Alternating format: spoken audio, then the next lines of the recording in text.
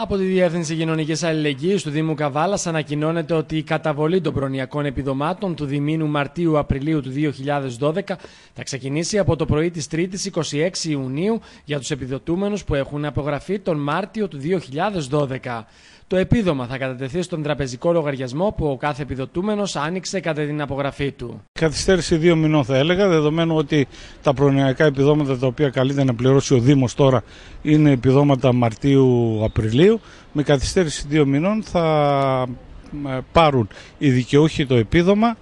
Ε, πιστεύω ότι ε, καθυστέρησε αρκετά και η καθυστέρηση αυτή προήλθε μεν από τη διαδικασία απογραφής των ε, δικαιούχων επιδομάτων αλλά ο χρόνος ε, κάθε φορά προκύπτει και κάτι διαφορετικό και ο χρόνος είναι μεγάλος. Δηλαδή δεν είναι ε, διαδικασία την οποία βλέπουμε για πρώτη φορά αυτή η καθυστέρηση.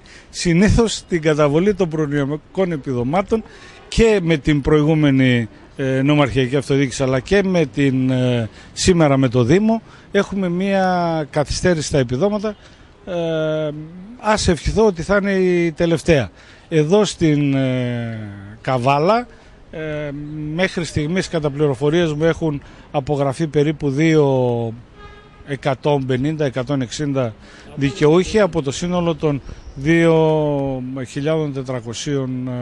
περίπου που δικαιούνται την, το επίδομα.